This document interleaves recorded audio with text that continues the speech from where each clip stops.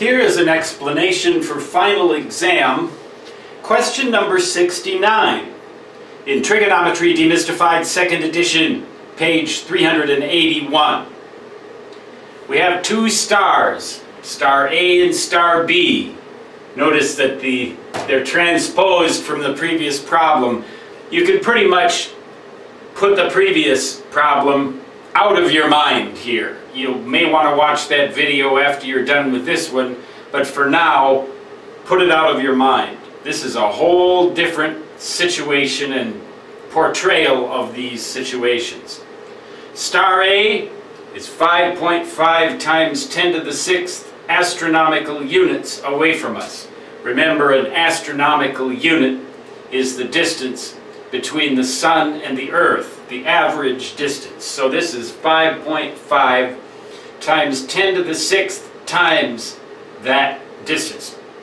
Star B is 2.2 times 10 to the 7th astronomical units away from us. Well, when you do the math on your calculator, you're going to find that star B is four times as far away as star A.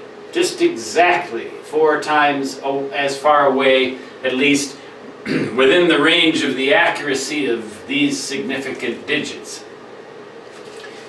Well, what the trick is here is that we have to realize that these triangles connecting the Earth, the Sun, and the distant stars or the relatively nearby stars on galactic terms.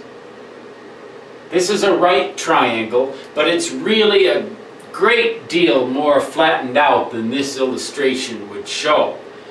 This base is 500, 5.5 million times as long as the height of the triangle. So in true perspective or true uh, proportion, this drawing would just look like one straight line on the, on the beige board, wouldn't tell you anything. So I've stretched it.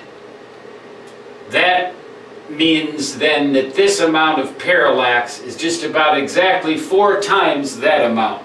It won't be exactly and perfectly four times, but so close that for all intents and purposes we can consider that this angle this parallax angle is going to be four times that one because when you take tangents or sines of very, very tiny angles, as we would have to do in order to calculate these distances, uh, in an earlier video I used the tangent function to calculate this distance between the sun and the distant star. Either the sine, you can use this distance too, and use the sine of this angle instead. But either way, when you have really tiny, tiny, tiny parallax angles like this, if you double the angle, you double the tangent, you double the sine. they're almost, they vary in almost exact the same proportion. You can go ahead and calculate this if you really want to. You can actually calculate these parallax angles if you feel like it if you've got a good computer calculator with a lot of digits and you assume that these are exact values, you'll find that the parallax angle of star A measures almost exactly four times the parallax angle of star B. So, the answer to this question is A. It works out that parsecs and angles vary almost in inverse proportion to each other. Not quite exactly, but almost. And for all intents and purposes, uh, at great distances like this, they, they do. But just a little interesting twist here in the way that astronomers have to deal with this. This is a really, really good real-world application of trigonometry.